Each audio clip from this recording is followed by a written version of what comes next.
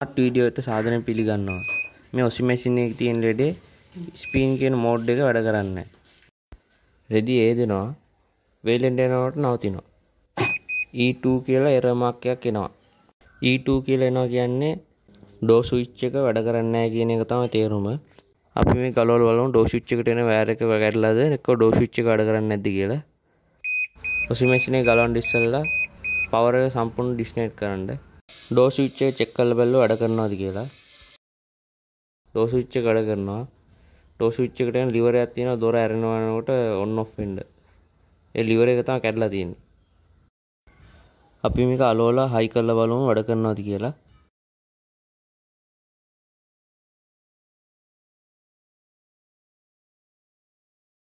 දැන් ඔසි මැෂින් එක වැඩ කරනවා.